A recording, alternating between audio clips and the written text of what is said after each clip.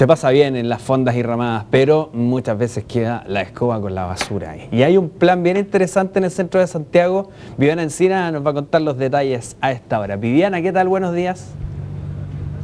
¿Cómo están? Buenos días. Nuevamente estamos en este que es el principal centro de celebración, por lo menos de la capital, en el Parque O'Higgins. Y tú lo decías, muchas veces terminan todas las fiestas patrias y vemos imágenes de basura, de desechos. Y la idea es cambiar eso, revertir esa situación. Y es por eso que estamos junto a la ministra del Medio Ambiente, María Ignacia Benítez, para conocer de un plan que se llama Fonda Ecológica y que busca justamente también generar cultura, educación y que los fonderos se hagan responsables, pero también las personas que vienen acá, a este lugar. ¿Cómo está? Buenos días, ministra. Buenos días, ¿cómo están? Sí, efectivamente la idea es, el año pasado recolectamos 132 mil kilos de distintos tipos de basura.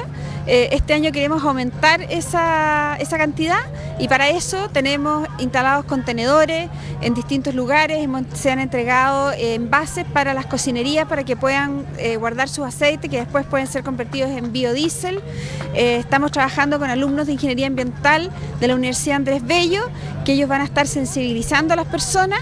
Estamos trabajando con los recicladores de base que viven de, de poder recolectar residuos que nosotros pensamos que no sirven, pero a ellos sí les sirven eh, y por lo tanto queremos que la gente lo pase bien, se cuide, tenga cuidado también eh, con estas fiestas paches, pero que además dejemos este parque limpio, bonito tal como es y que podamos entonces tener unas fiestas patrias ecológicas. Mira, estamos viendo los contenedores que cada uno tiene un color que usualmente se repite para el tipo de reciclaje que, eh, se quiere hacer. Me gustaría un poco que nos comentara, por ejemplo, qué es lo que sucede con los plásticos, los aluminios, el cartón, cómo se va distribuyendo eh, todos estos desechos.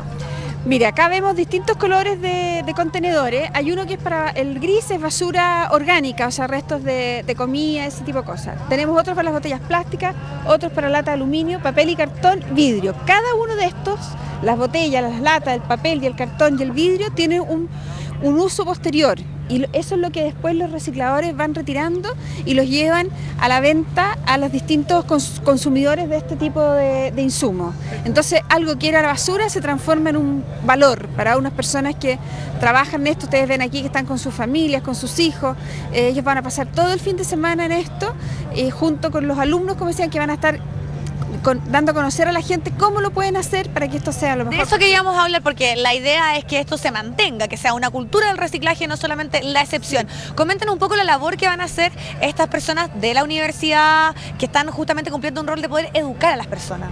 Bueno, eh, alumnos de, la, de Ingeniería Ambiental de la Universidad Andrés Bello, el año pasado también tuvieron con nosotros y la labor de ellos justamente esa, educar, sensibilizar a la población, es muy importante que todos tengamos esta cultura del reciclaje, porque ganamos todo, gana, el país, gana las personas porque tienen incorporado esta cultura medioambiental en su manera de vivir y además eh, podemos ayudar a gente que ha logrado que esto sea parte de su forma de vida.